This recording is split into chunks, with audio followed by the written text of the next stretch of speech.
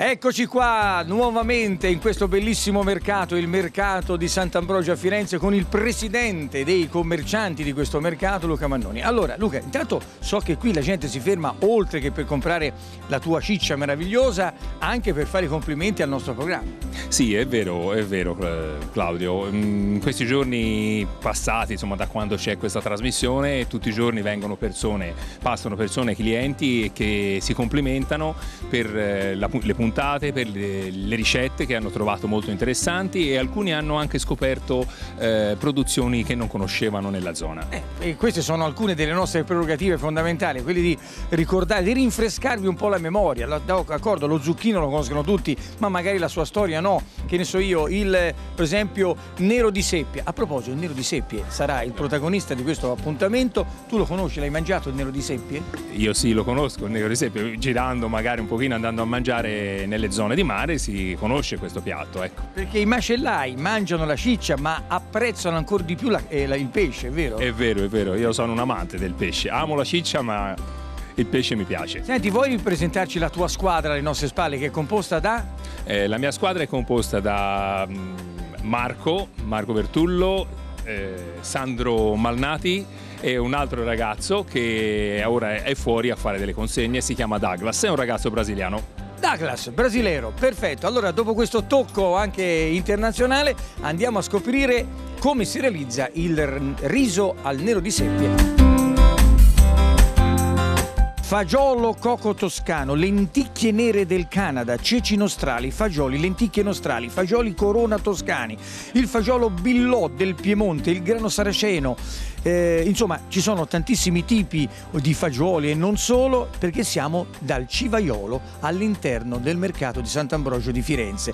Con noi il presidente della FIEPET Toscana, più esattamente Federazione Italiana Esercizi Pubblici e Turismo, Santino Cannamela. Allora, questa storia legata chiaramente a Vetrina Toscana, qual è la garanzia che i nostri utenti, consumatori hanno nel vedere nei vostri esercizi questo marchio importante, Vetrina Toscana? Toscana? Beh, la garanzia di trovare eh, i prodotti agroalimentari di altissima qualità prodotti nel nostro territorio, quindi a chilometro zero, quindi molto spesso biologici e quindi prodotti della natura che vengono trasformati dalle sapienti mani dei nostri chef. Ecco, lei eh, sa mh, mm, come si realizza il mitico riso mh, mm, col nero di seppia? Beh, sono molto più bravo a mangiarlo che a farlo, a dire la verità. Allora, però noi abbiamo un grande professionista che è Luca Lucchesi che dovrebbe arrivare a momenti, non lo so, però sa, ci sono personaggi che arrivano, che vengono, d'altra parte siamo al mercato. Sì, Quindi, pieni di profumi, di colori. Ecco, allora facciamo la conoscenza di questo mitico piatto. Eccolo qua, Luca Lucchesi, come stai? Claudio, Tutto buongiorno. bene? Allora, arriva da Viareggio, l'antica locanda è un bellissimo locale che si trova proprio nella eh, via eh, parallela alla mitica via passeggiata. dietro la passeggiata, ecco, sì. qui davanti alla pineta che si trova al centro proprio di Viareggio, vero? Esatto, proprio al centro di Viareggio. Senti, allora il presidente, eh, che tra l'altro anche il tuo presidente, perché tu fai parte di Vetrina Toscana, non sa bene quali sono gli ingredienti base fondamentali che compongono il riso col nero di seppia che noi realizzeremo quest'oggi. Dunque, noi, a noi serve di comprare un riso buono, e ce l'abbiamo qui. Andiamo a vedere. Andiamo a vedere se troviamo Presidente, allora Io attenzione. un cannaroli. Un cannaroli. Potrebbe andare benissimo anche un arborio, però a me piace molto usare il cannaroli. Ecco qui però.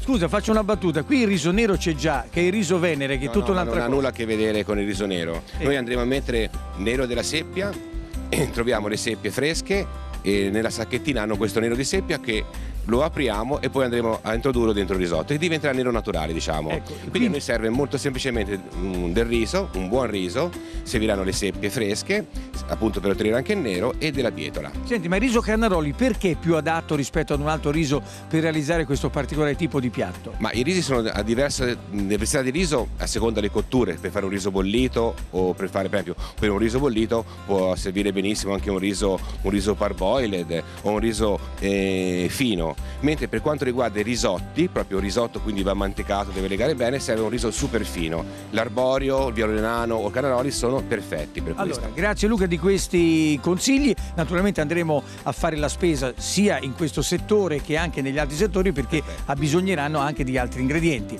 Ti sei mai domandato quando i toscani hanno conosciuto per la prima volta nella storia il riso? No, lo sai? Non lo so. E andiamo a scoprirlo insieme alla professoressa Donatella Lippi. A dopo.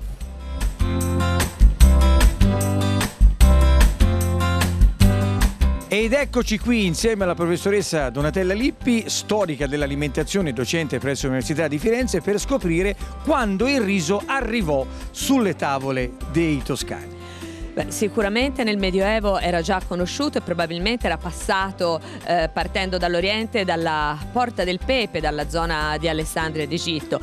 La cosa divertente è che il riso, che venne subito apprezzato per determinate eh, attività anche salutistiche, non veniva venduto come oggi dal civaiolo, ma veniva venduto dagli speziali, veniva gestito, cioè veniva prescritto da coloro che si occupavano anche della cura della salute. Ecco, ma il civaiolo che sarebbe il venditore dei fagioli, del, eh, della farina di ceci, del riso. Questa parola a livello etimologico? Beh, eh, in realtà è un'espressione molto generica perché civaiolo deriva da cibus, quindi è un generico venditore di cibo. Oggi vende eh, i legumi secchi, vende anche il riso, ma in origine era un dispensatore di alimenti, diciamo. E ricordiamoci che non è vero quello che ci dice l'Artusi, che oggi citiamo, che alla ricetta 75 ci dice il riso con un bel punto esclamativo. Ecco giusto un alimento ingrassante che i turchi somministrano alle loro donne onde facciano, come direbbe un illustre professore a tutti noto, i cuscinetti adiposi. Non è proprio così. Grazie professoressa di queste pillole di grande saggezza, andiamo a scoprire come si realizza questo benedetto risotto.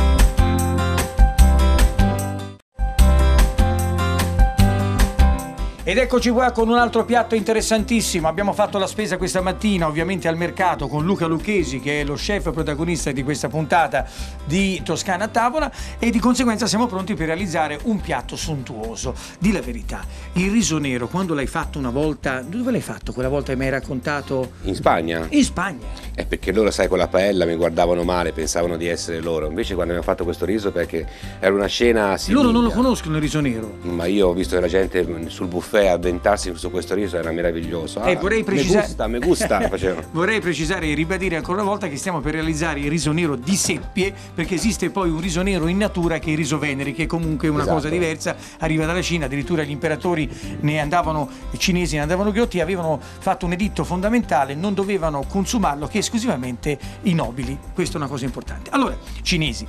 Torniamo a noi. Allora, vedo che ti sei già avvantaggiato. Sì, il riso è partito in cottura. Cosa abbiamo fatto? Due spicchi di aglio interi schiacciato, abbiamo soffritto con un pochino di olio l'aglio, abbiamo aggiunto il riso e tostato il riso, abbiamo aggiunto le seppie e sfumato con il vino bianco. Dopodiché abbiamo aggiunto il brodo di pesce, il nostro fumettino. Ecco. Mi dirai, quanto brodo metti per cuocere il riso? Allora, innanzitutto, se non abbiamo la bilancia, per fare una porzione di riso sono due manciate. Due manciate di riso è una porzione, quindi anche noi al ristorante, quando mettiamo due manciate, più o meno ci becchiamo sempre. Seconda cosa, il riso cuoce nel liquido, cioè il doppio del liquido rispetto a questo riso. Quindi cuociamo mezzo chilo di riso, un litro di acqua, di brodo e siamo a posto. Bene, ora il riso vuole la sua cottura, stiamo usando, ricordiamolo, l'abbiamo anche precisato in apertura di trasmissione, un riso carnaroli, che è un riso che si sposa perfettamente con i risotti. È perfetto, viene mantecato meravigliosamente ed è un risotto eccezionale. L'importante è quando noi aggiungiamo il brodo è sempre importante che il brodo sia caldo, sia bollore, perché se noi aggiungiamo il brodo freddo, ogni volta che aggiungiamo il brodo la cottura si ferma. Quindi succede che il riso all'esterno sarà cotto, ma all'interno è crudo. Bravissimo, perfetto. E attenzione, la cottura del riso è fondamentale, deve essere un pochino al dente. Certo. E qui però c'è un altro stratagemma importante, la cosiddetta tostatura. In due parole, ci dici che cos'è la tostatura del riso? Sì, il riso viene tostato, quindi viene fatto passato insieme all'olio, viene viene rosolato, tra virgolette, dopodiché viene bagnato con un po' di vino bianco. In questo modo viene tostato. Ecco, se non fate questo procedimento rischiate di avere un riso che si sfalda, che si sfarina. Ecco il eh, segreto svelato dal nostro grande chef Luca Lucchesi per poter eh, portare in tavola un riso che Dio comanda. Aggiungiamo il nero Claudio? Sì. Perché noi stamattina abbiamo preso e comprato le seppie fresche e le seppie fresche all'interno della loro sacca hanno, vedi, questa sacchettina qui. Tieni la ferma si vede? È la sacchettina del nero. Del nero di seppie. Del nero proprio naturale. Qualcuno la può già comprare già come si dice confezionata, ovviamente naturale, però noi ve l'abbiamo fatta vedere già dalle viscere, tanto per intenderci, della seppia. Allora attenzione perché adesso sta per avvenire le, diciamo il cambiamento cromatico la del riso. La colorazione, chiamiamola esatto. così. Quindi qui sta per arrivare la cosiddetta magia che potrete vedere tutti quanti voi in diretta televisiva. Eccola qua, Eccola qua guardate. Noi aggiungiamo l'interno proprio della seppia, eccolo qui lo andiamo. E guardate adesso magicamente il riso diventa nero. Il riso diventa nero ed è un nero naturale, non è quei neri molto scuri. Vedete, eccolo qui. Quindi il nostro risotto continua la cottura e aggiungiamo anche la bietola. Benissimo. Quindi eh, prepariamo sempre della bietola lavata, solamente le- la parte delle foglie, la tagliamo a striscioline e la aggiungiamo, ecco qua, al nostro risotto.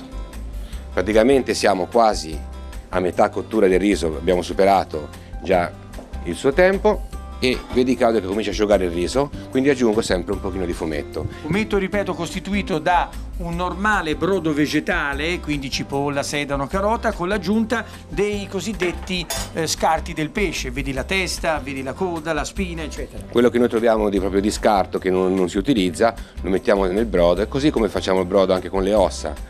E lo utilizziamo sempre proprio per dare sapore quando allunghiamo le nostre salse. Allora, nel caso specifico qui vediamo la seppia anche a pezzettoni, ma si può anche eh, servire un riso nero di seppia senza poi tutte queste aggiunte, vero? Certo, lo possiamo servire anche come tampone se noi facciamo anche dei, per esempio mi vengono in mente adesso facciamo un riso pilaf eh, nero sempre, usiamo dei, magari dei bei calamari grigliati, del bel pesce anche al forno, sempre come guarnizione anche se non vogliamo proprio fare un risotto. Bene, prima di andare ad impiattare e a far assaggiare questo sontuoso piatto riso nero di seppie, voglio ricordare il nostro sito www.vetrina.toscana.it dove potrete scoprire i prossimi appuntamenti di Vetrina Toscana, dove potrete iscrivervi, evidentemente se ancora non l'avete fatto, a Vetrina Toscana. Come? Gratuitamente le altre informazioni le potrete trovare su questo sito www.vetrina.toscana.it. Andiamo a impiattare? Siamo pronti? Io Siamo pronti, manca, manca proprio un minuto e mezzo alla cottura. Bene. Io ho visto che non ho messo il sale, Claudio, perché il brodo di mio fumetto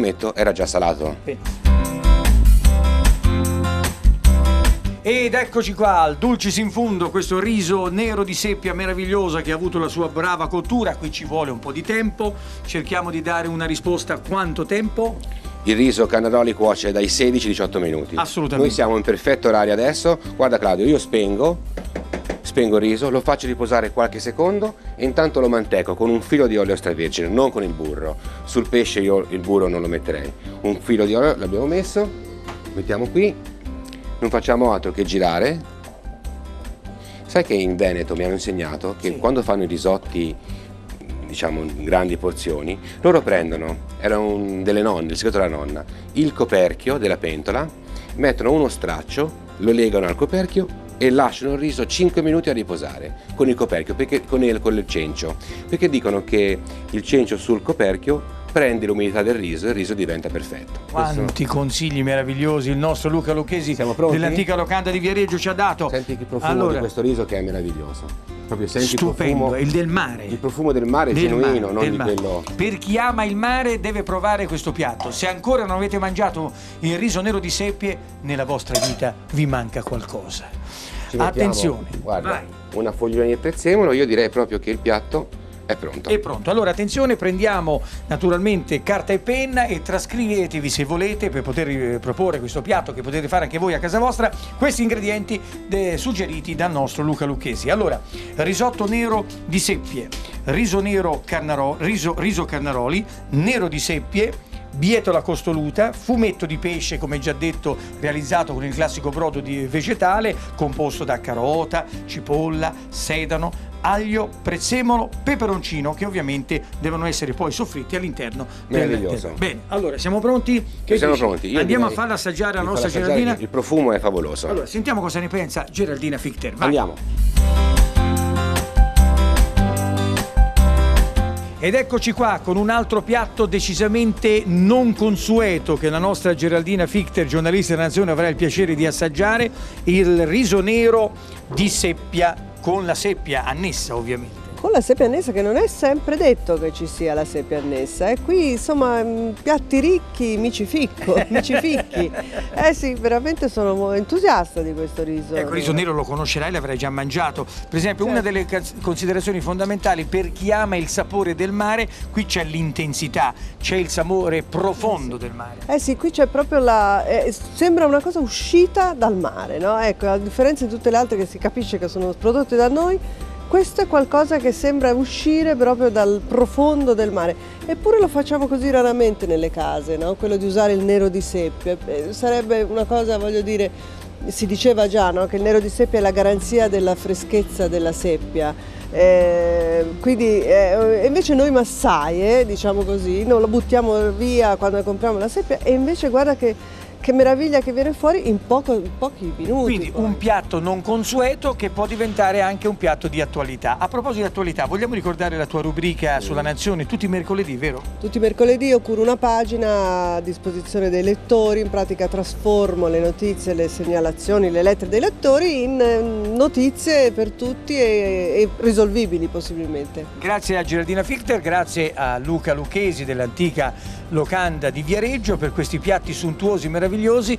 Da oggi ne sappiamo veramente di più. Grazie della vostra gentile attenzione, appuntamento a domani alla stessa ora. Buono? Molto buono, molto buono. Mm.